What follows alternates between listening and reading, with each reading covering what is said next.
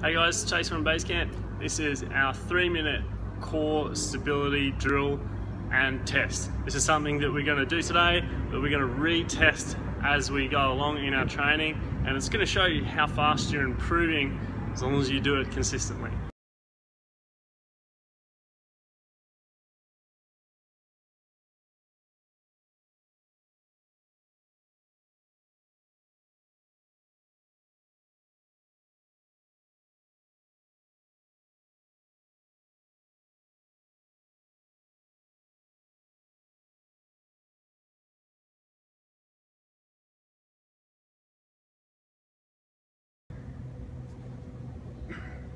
So guys, whenever we plank, we want to have our elbows directly underneath our shoulders. We're going to pick our hips up off the ground, squeeze your glutes as tight as you can, tuck your ribs, and maintain a straight, strong body position.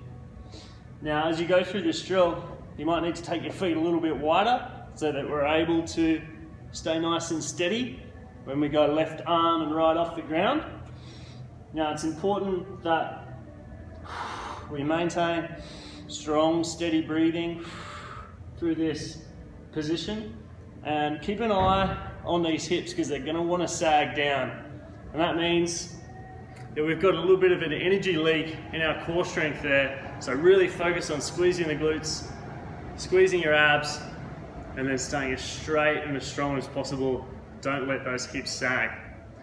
The other common problem with this that we see is that as people get tired, they shuffle back, their hips go up, and their shoulders uh, move past this point, the elbows. So you want to stay directly above the elbows throughout this entire test.